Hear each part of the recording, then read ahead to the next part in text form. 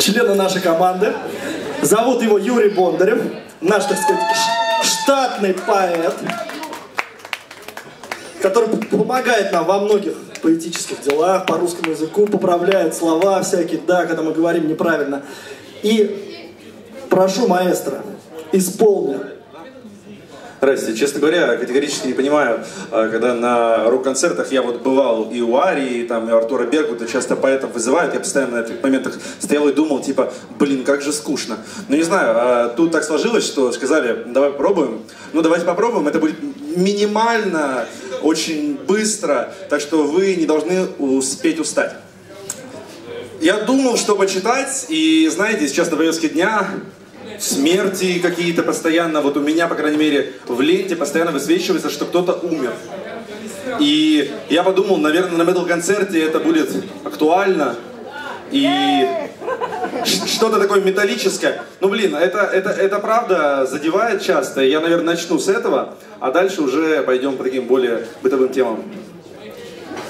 Это сегодня, кстати, написано. Смерть бродит по списку друзей, как по венам улиц. Но каждый раз, словно первый по кругу, снова друзья наши вышли из зала и не вернулись. Быть может, они теперь ангелы рок-н-ролла. У ангелов нет похмелья, работы, нервов. И я им завидую даже, но только страшно, что Бог забирает лучших, красивых, первых. А я еще здесь, не среди музыкантов павших листаю посты, этот умер, а тот на грани, потери меня захлестнули, как море волны. Я верю, надеюсь, да нет же, я точно знаю, они теперь ангелы, а ангелы рок-н-ролла. Мы здесь отдыхаем, поем, но внутри сгораем. Мы здесь, мы приехали, шоу почти готово. Вы слышите эхо? Ведь это нам подпевают откуда-то сверху ангелы рок-н-ролла. Смотрите, у каждого поэта должно быть два телефона. Оп, поменял. Фокус.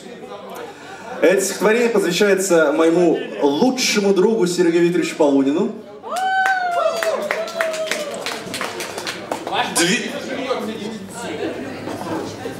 Две банки пива, Балтики девятки, друзья и темень ночи, грязный парк, суть всей этой алкогольной пьянки том, что я самый среди них дурак.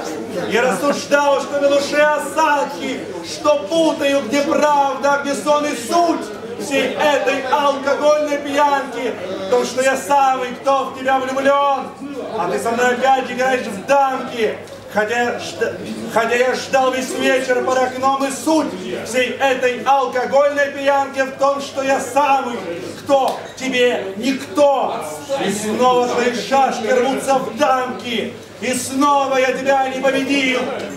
И суть всей этой алкогольной пьянки в том, что я самый, кто тебя любил.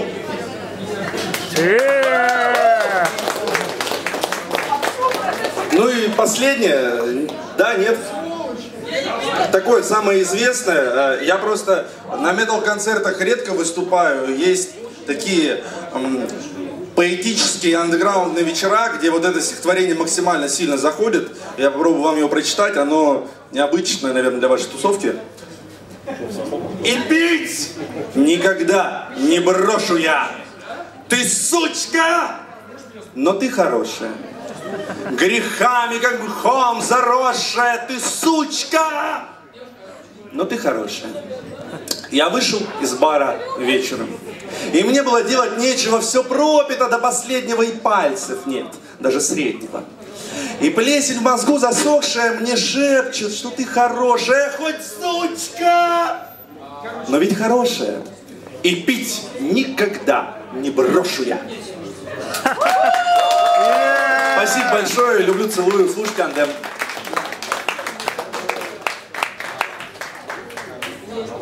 Молодец.